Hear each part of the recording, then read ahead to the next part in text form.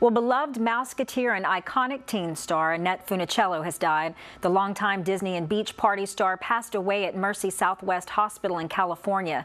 She reportedly died from complications of multiple sclerosis. She was 70 years old. In 1992, the actress announced she was suffering from MS and had been for several years. Discovered by Walt Disney himself, Funicello rose to fame in 1955 at the age of 12 as one of the stars of the original Mickey Mouse Club. Following her tenure as a Mouseketeer, Funicello appeared as a regular on such landmark TV series such as The Danny Thomas Show and Zorro.